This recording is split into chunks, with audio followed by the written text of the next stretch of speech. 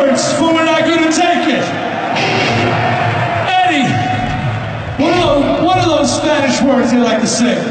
Huevos con aceite. Huevos con aceite. You sing huevos con aceite. Let me hear you sing huevos con aceite.